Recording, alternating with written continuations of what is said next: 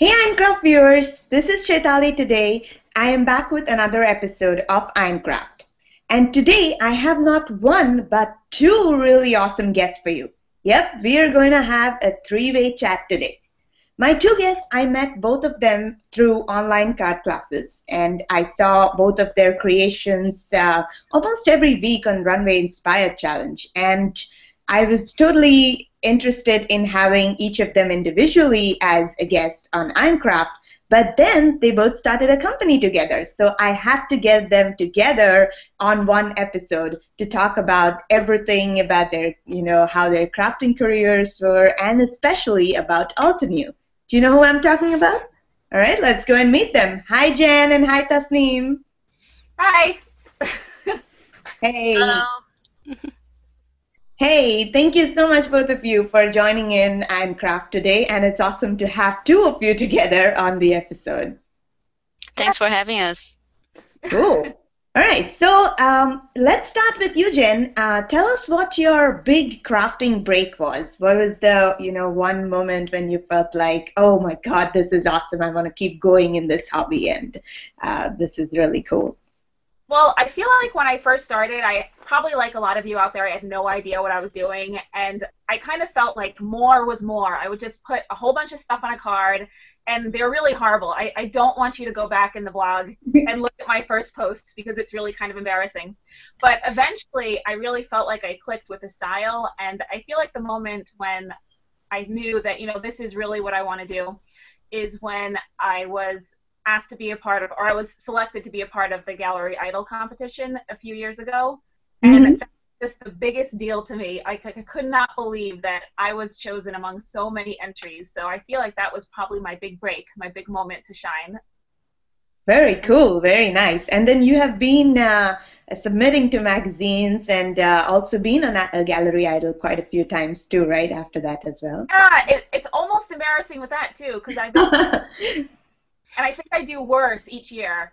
So if oh, I, Oh, no, you don't. You just have to stick with it. I'm sure this is going to be your year. It's coming up really soon. yeah, I may not apply. I'm not sure, but if I do, I I don't know. I'm not getting my hopes up that I'll be picked again because four in a row that that's crazy. well, your, your own stamps are the lucky charm, right? You use your own stamps and then you get through. All right, so Tasnim, um, question to you again uh, is uh, the same one, kind of, but I read your very interesting blog post about your first experience in going and buying stamps. So tell us about how you got started into paper crafting. Sure. Uh, this was about four years ago. My husband had, took me to Michael's to get some art supplies, Mm-hmm. and I just bought some papers because at that time that's really what I used before prior to my stamping, just papers, and I would make cards and bookmarks using papers. And I didn't know what else to get. Can you imagine? then uh, when I got home, my husband showed me he bought two wood block stamps for me, and I wasn't sure how to use them. I knew like I had to get some ink pads eventually, so I went back to get some ink pads, and I saw like there are so many different kinds, and I ended up taking two that, that were on clearance, and didn't really work that well. I also that was my first time I saw some clear stamps. At the time, I didn't know what they were, but you know they looked uh, nice and pretty, so I was like, oh, let me try these as well. And I did not buy any clear blocks to go with them since I didn't know, you know how they worked. And I actually tried to stamp with my hands using the clear stamps, and I was like, oh, this is difficult. Oh, this is not fun at all. You didn't try like uh, CD cases or some, uh, uh, you know, most I have heard like all sorts of ingenious methods, like on a book or something. No, I didn't try any of that. I thought like, oh, these are just stamps, and I was just inking with my hand. And later, I saw a video of someone using some clear stamps. I was like, oh, okay, so you need the clear blocks. And I went back to get some clear blocks, and uh, I bought one for each set because I thought I would have to store the clear stamps on the clear blocks, like the wood Oh. blocks. yeah, that was my introduction. But eventually, I I learned about the company called Close to My Heart and saw they had this amazing collection of clear stamps, and I was like, wow, this is amazing. And that's when the buying started. and also your uh, collection of stamp blocks increased too. exactly. Yes, within it's skyrocketed within the first year. wow, nice. And uh, and I see Jen's also has a big collection behind her, and Jen's craft room is visible. So, uh, did your collection also grow similarly? I know my craft room is behind me too. It did absolutely. Nice. Oh, I like your necklace. I can see it uh, more clearly now, and it's awesome. It's scissors. Yeah, really. they do open and close. Oh, they do? Wow, that's awesome. That's a Oh, perfect wow. necklace for uh, wearing on a craft video. nice. All right. So tell me about how did you both meet? You both uh, uh, decided to start a company together, so you must have known each other for a while. So when was uh, the first time you both, you know, got acquainted, and how did you both get together to be business partners? Um, do you want to talk, Tasnim? you go ahead. You go ahead. you can answer the first part. Well, I actually found out about her work when she was submitting to the, the Runway Inspired Challenge, and I'm sure that you'll agree that her work is just phenomenal. So when it was time to pick new design team members, I knew that she was one of my first choices, and I was so happy when she agreed to be on the runway team. So Mhm. that's kind of how I became to know more about her. Awesome. And well, then, I uh, was really, really happy when they picked me. I was like, wow, that was my big moment. I was like, yay, on the Runway Inspired Challenge team. And um, as for you know starting the company together, I think we both have been thinking about starting company for some time. I mean, if separately. And for me, it was about a year ago that I started, you know, thinking seriously about it. And I think about six months ago, we kind of talked about that our sim, you know, similar interest. And you know, Jennifer is an amazing artist, and I knew she, she would be like great asset to the company. So I just, you know, told her like, why don't you do this together? You know, we join our forces, and we'll be awesome together. Awesome. That's great. You are awesome together, by the way. that, that actually brings us to uh, talking more about Altenew. Um, I want to first know how you came up with the name, and uh, were there other names in consideration? What were they? well, I was hoping to keep that a secret, but since you asked, no problem. no, no secrets Yeah. on the video. um, well, uh, the name came from, it actually came from another name that we had first in consideration. So to begin with, we both had our ideas, but we finally kind of settled on uh, now and then. We like that name. But after some cons- further consideration, we decided not to go there. It just um, we wanted a really unique name, you know, something you would search in Google and would come the first thing, you know, that would come up. Mhm. So know, we- had it had to be like really unique and something to make up maybe. So I decided I started thinking about it. So similar to now and then, I was like, okay, now and then, then maybe similarly old and new. and then uh, I, I'm uh, familiar with German a little bit, and old, old and new, you know, sounded a little hard to pronounce. So I said, okay, old, new, and then it's like alt new sounds like nicer. And Yeah. I, I asked Jen like, how does that sound? And you're like, yeah, it sounds a little different, like alt new. And we were like practicing it, like how does it sound, like alt new stamps, and it, it took us a little Yeah. while, and then we decided to just you know stick with it and you know go with the name. Nice. So did you have to, Jen? Did you have to say to it to yourself in the mirror a few times and uh, kind of get the roll of it on your tongue? I did. I was calling my mom because obviously she knew about it. And I'm like, oh, so we have this these new stamps for Altenew, and she's like, oh, is that the name of the company? I said, yeah, I'm just it. To get, Nice. and it, it worked out well. So- Cool, that's a great name. So tell us more about some of your designs. Uh, I know you have like some very unique designs, and uh, I have been drooling over all of them since the sneak peek started. So tell us about inspiration stories behind a few of them. Pick pick a favorite design for each of you, and probably tell me more about it. Um, well, my favorite is the Sketchy Cities. Mhm. And a while ago, I don't know how long, maybe even a year ago, just quite some time, I did a card on my blog, and it was a hand drawn skyline of Boston, and I watercolored it, and I got a really good response from it. And I love to sketch and draw, so it just seemed like a, a natural thing to do on a card. But I thought, you know, wouldn't it be even better if I can have this as a stamp so I don't have to take the time to draw it every single time? I Oh, know about what you're talking about. That's the card you made for the 10 embellishments challenge, isn't it? That was actually a different. that Oh, that um, was a different one? Okay. yeah so that was a different skyline similar card so that was a Shanghai one. The other one was mm-hmm. Boston. But I grew up near uh, New York. I grew up on Long Island, so I would go into Manhattan all the time. And now I live near Boston, and I go in Boston all the time. So I wanted to kind of pay my respects to my two favorite cities and design stamps for them. Very nice. Can, can can we get an insider news on if more cities are coming in? I'm sure there will be. A lot of people have asked for more cities. I enjoy designing them, so. Cool. Yeah. I'll put in my vote as well. We want more cities. nice. And what's your favorite one, Tasnim?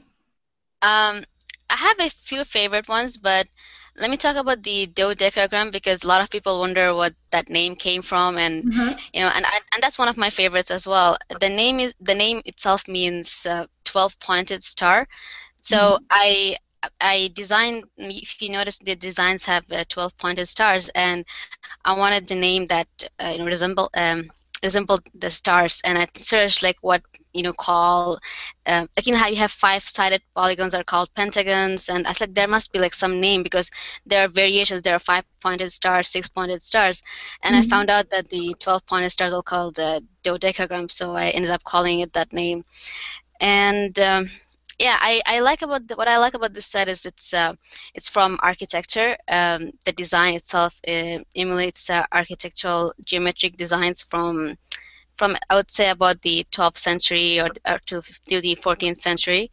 So it's kind of like looking back and then bringing those old designs into a, into a new modern look. So I think, and that's also kind of how our name of the company is, all, all to new, like all to new.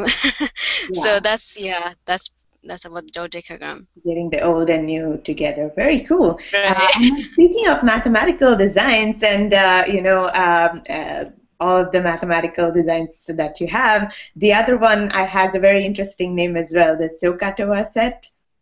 Right. Do you know what it means? I'm sure you know what it means. I, I do know what it means, but I want you to explain that to, to the audience. okay. It was so, a very nice uh, private mathematical uh, joke, and I saw it. Right. Uh, um, actually, my sister came up with the name because uh, mm-hmm. it's just a set of basically, if you look at it, it's just triangles. And there are other sets that are called triangles, and then I think there are some sets called trendy triangles.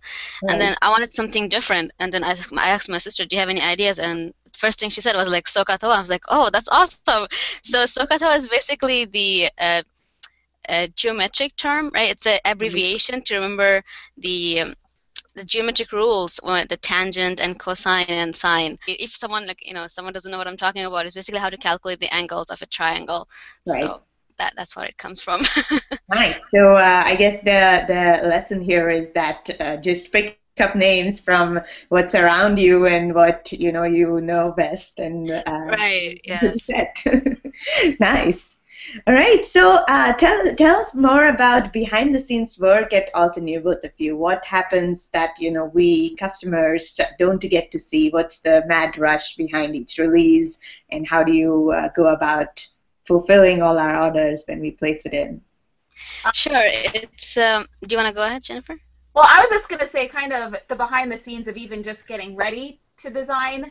Um, mm-hmm. When we realized that we both wanted to start this company together, we put together a very lengthy ideas list and mm. just anything that we could think of that we haven't seen before that we would love to see or things that already existed but we knew we could put our own twist on it so we had that huge massive list and then we just went through and discussed what do we want to see first we wanted to have a big release so that there will be lots of options and kind of something for everybody no matter what your design style is and we narrowed it down and then got to work um, designing. Now, for me, I'm so used to just taking a pencil and sketching in a sketchbook or doodling on the corner of my notebook pages.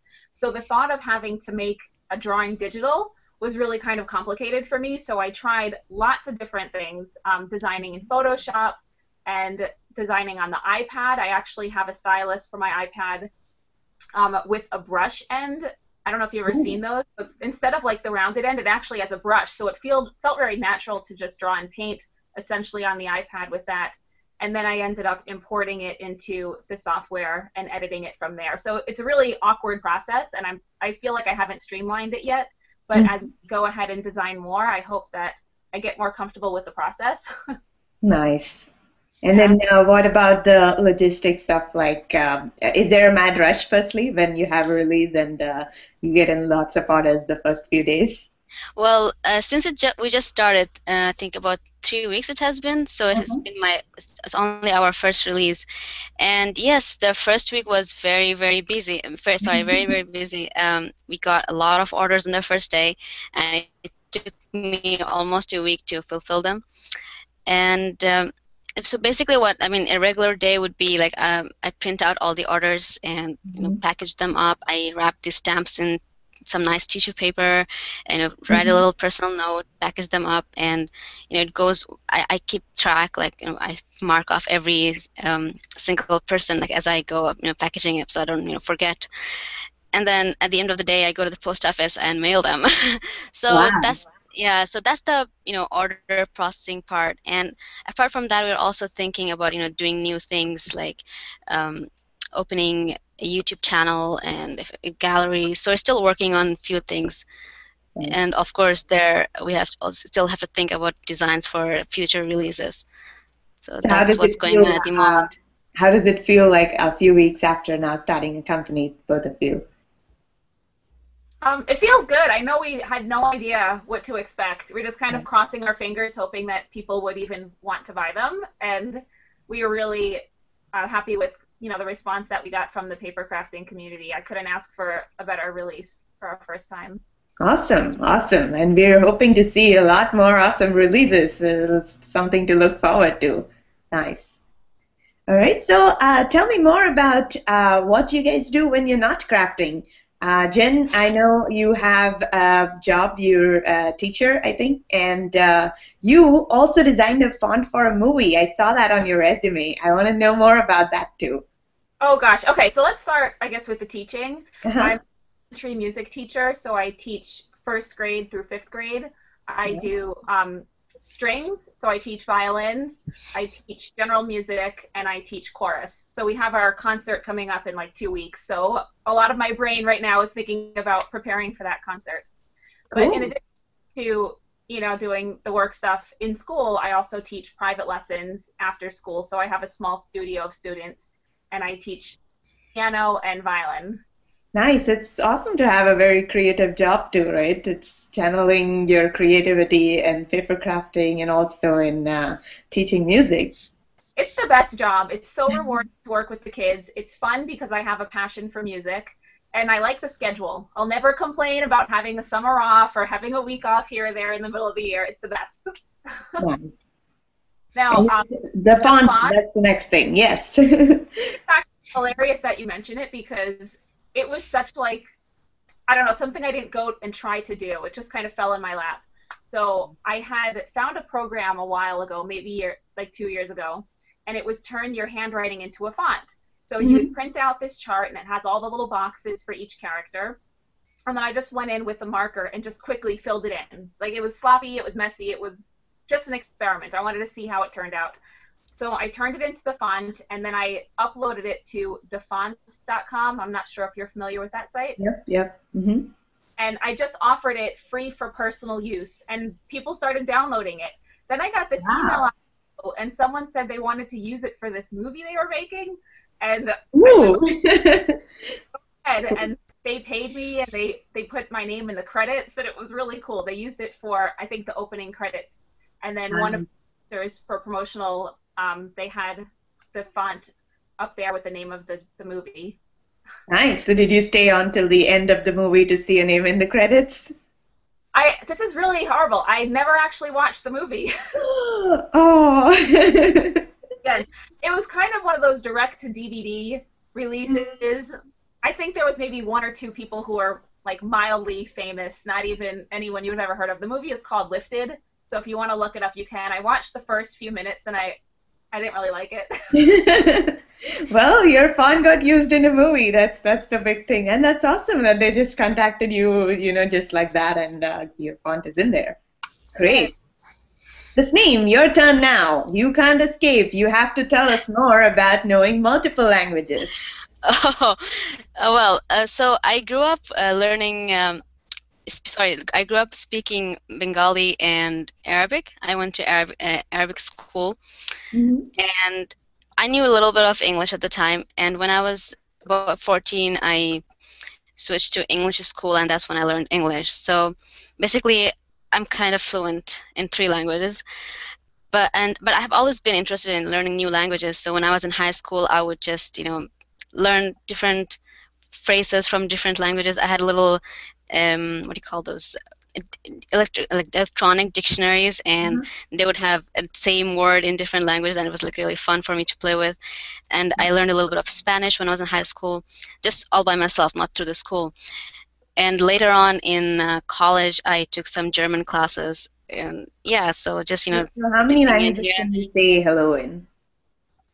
Oh hello would be a, quite a number of languages but um, I would I wouldn't say them right now though. I mean, hello, thank you. I know more than three or four, mm, five languages, but wow, yeah. nice. That's awesome. That's the great knowing so many languages. And the other thing I wanted to ask was you have also studied engineering, right, in uh, UMass Amherst. Tell That's us, right. tell us about uh, uh, studying engineering and how that has, you know, helped in uh, your sure. crafting hobby and how does it carry sure. over uh, definitely. I studied mechanical engineering, and for those of you who don't know much about it, it's basically, you know, you design things in mechanical. For example, a table or chair. I mean, anything around you, probably some engineer designed it. so, uh, and I really love the designing part of it, and we used to have like semester-long projects, and where you'd there's a big challenge almost you can call it. And uh, you know there's a problem you have you're about to solve it you know you interview people and you come up with a solution like a new design improved design and those are my favorite classes. So i guess that really you know conveys into how i really enjoy card making. I love the challenge part of it and you know designing new things. So yeah the it's all related. nice. That's I think that carries over perfectly to your uh, style as well, right? It uh, it's very technical. It's very clean, and uh, you plan a lot. I can see in your cards that you do plan it out a lot before you know you're making it. So great. Yeah, yeah, I do plan. I keep I think about the card before I make it. I you know because I only have some limited time, so I need to like think and you know make sure what I really want before I go into the craft room. I can't just you know stay there and think and think. So yeah, I have to pre-plan ahead of time. Awesome. Okay, um, so I had a few general questions, uh, you know, from Ironcraft viewers before, and I thought you two would be the perfect people to ask these questions too, because you are already answering questions for online card classes. Um, so Jen, you first.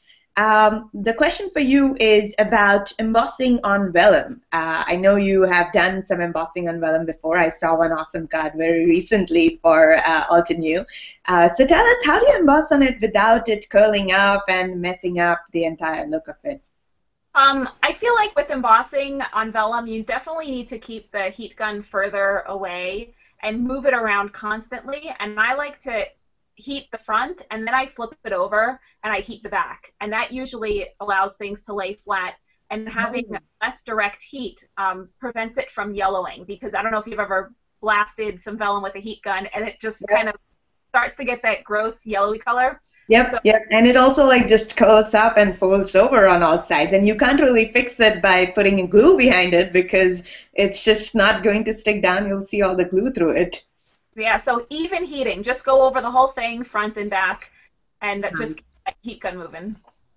Cool, very cool tip. So that means the same thing embossing powder related for you. How do you store your embossing powders? Well, to tell you the truth, I don't own that many embossing powders, so most of my embossing powders are still in the containers they come in. But I do have a couple where which I keep in um, little you know disposable flat containers and those are really easy. I, I keep a disposable spoon inside as well and all you have to do is just you know shake the powder over your card you don't have to transfer between you know scrap paper, scratch paper and your container. So i would say like if you have enough space you would go for the containers but my space is really limited so i just you know keep my embossing powder in the containers they come in and how do you put it back in there after after using it do you tap it off on a paper and then just slide it in again Yes, I always use a extra paper to catch my embossing powder, and mm-hmm. then I just, you know, you know, take the paper and then, you know, just put it down inside the container. Yeah. Cool, awesome. Uh, Jen, this is not a question coming from you know Ironcraft audience, but I am really really curious. What is that wooden plank-like surface you use uh, for photographing your cards? Um, it's actually not wood at all. Um, let's see. Oh. It's paper. Oh, it's pattern paper. That's a cool idea. it's on side my mind's eye. And I have a few of them. This is the one I use most often just because it's like a nice neutral color. But I have just plain wooden pattern paper in lots of different colors that I have used in the past, either behind the card or sometimes I'll lay it flat and put the card on, on top of the planks. Nice. Nice. That's a cool idea. Like if you don't have a wooden table and you still want to get that kind of a look, this is a great way to get that look as well. Great. And then Tasnim, uh, what is the strangest embellishment you've used on your cards? Well, it's funny that you asked that because I don't normally use many embellishments. So no, had, that's why I wanted to know what is the strangest one so. I had to go back and look at my cards to see where I had used embellishments, and I think one of the strangest one I think I would kind of call it just strange was uh, I wanted to make a, a handbag, and I needed something for the handle of the handbag, and I went to the dollar store and bought some like metallic bracelet and I used that chain as the chain of my handbag and I think Oh. yeah that was probably the strangest embellishment yeah Nice. Great story. All right. So now is the time for the rapid fire round. And this time we're going to do a three way rapid fire round so that I will ask either of you a question. So be ready, both of you. Are you both ready for this? I guess. This is the part I was nervous about, so I'm sorry if I hesitate. Okay. The but mor- don't the morning ahead of time, It is, I'll be is the rapid fire. it is the rapid fire. You both have to be ready for it. Okay. Um, all right. Tasnim, you first. If you could learn to play any musical instrument, what would it be? And and note that I'm asking you this, not Jen. okay I think it's be either the piano or the violin cool. Do you know to play them now? No I know nothing absolutely none but I love how the how they sound yeah Okay, awesome. Jen, name one dish you find really difficult to cook. Um, uh, French macarons. Have you tried cooking it and did it end in any disaster? I tried once and they were amazing. I'm like, wow, I should do this for a living. I'm awesome. And then I tried twice since and they were absolute disasters. I think I had to get this. you should retire early when you have one success and be like, oh, this is, I have made the best dish ever. Uh, they were That's what I do. not even That's what- wanted to eat them after the second and third try, and that says a lot because he'll eat anything. nice. All right, uh, same. this one's for you. Uh, one tool that never leaves your desk. the paper trimmer yeah I'm always cutting paper Okay, that's Yeah. that's a staple tool. Jen, one tool you thought was total value for money. Wait, one tool that what? You thought was total value for money. You did not regret buying it at all. You'd recommend it to anyone. Hey, my paper trimmer. Hey, that's copying an answer. But it's Tonic. Here. yeah, that's true. Oh, it's the it's the the nicer one. Oh wow. This one. And it was more of an investment. In the past, I had used the ones with the blade that slides. in the Right, the little- one that you pull down. Which I know works for some people, but I couldn't get it to work for me. So I like this a lot. This was a good investment. Cool. I'm gonna clip out this uh, part of the video and show it to my husband and tell him that Jen uh, has recommended this, so I have to absolutely have it now. okay, and now you both need to pose for the camera. Jen, do you want to go first too? Sure. How many poses do we have? Three poses. Three poses each. So Three poses. go ahead. Pose one. Okay.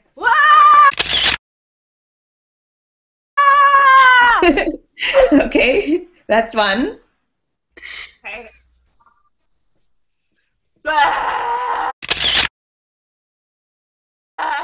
Okay, that's two. Um, I can't think of anything else.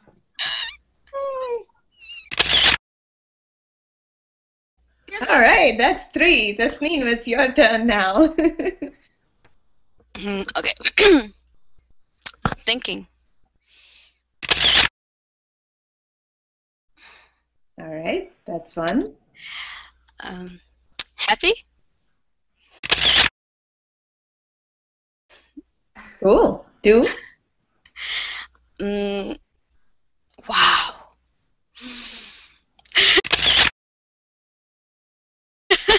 That's three. awesome. Thank you, lady. I, I didn't think about my poses.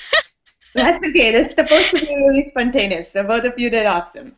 All right. So um, now, since this is Ironcraft, uh, it was my turn to get crafty with both of you this time. And of course, we used Altenew. Uh, we used the simple uh, shape set. And I couldn't be happier about using this set. And I'll talk more when I show you guys my card that I thought it was a really well designed set. Uh, and then the other thing I wanted to also show was the packaging. This is like so inspirational. I saved this, and you're going to see it featured on probably one of my cards soon. Uh, I totally saved this paper for some special card. And uh, all three of us created cards using that set. Do you guys have your cards ready? Yes. I do. Awesome. All right, let's show it to people. Three, two, one. Where's yours, Tasnim? Oh, you have two of them. Go I ahead, have- Jen. Tell Oh, us more wow. about them. Jen, you first. Tell us more about your cards. okay, I made two because I didn't really like the first one. Here's the first one I made. Why didn't you like it? I don't know. I wasn't feeling it. So then I made this one. And I like this one more.